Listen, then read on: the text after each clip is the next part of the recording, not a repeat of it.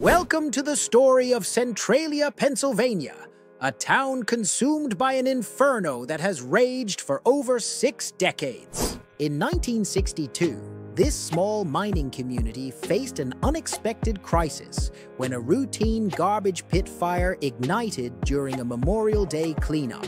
Unbeknownst to them, beneath Centralia lay an extensive network of anthracite coal mines, providing an endless fuel source for the burgeoning flames. The fire quickly spread from the surface into these vast subterranean passages, turning a local incident into an unstoppable underground blaze. Initial attempts to extinguish the fire proved futile, as its reach extended far beyond human intervention, making containment nearly impossible.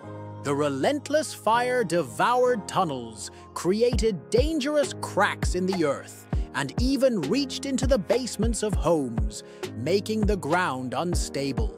Surface temperatures grew so intense they could melt shoes, while noxious gases and toxic smoke continuously rose from the streets. By the 1980s, most of Centralia was abandoned, condemned, and eventually erased from official maps, a ghost town in the making.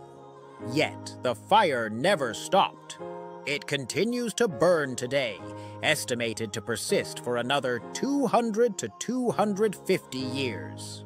Centralia stands as a haunting testament to a city lost to an unyielding fire.